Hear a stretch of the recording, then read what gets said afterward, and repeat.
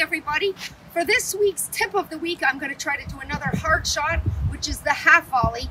You notice that John never seems to come out for the difficult shot, so I guess it's back to me doing that.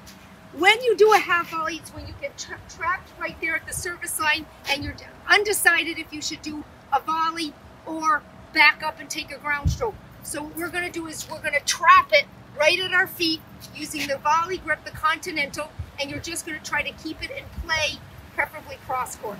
So John's going to give me a couple at my forehand where I'm stuck right here. He gives me a low one, and I just go back this way. Now I'll go back cross court where I should have been going, right there. One more. All right, try that. Hopefully that will work next time for you. Thanks.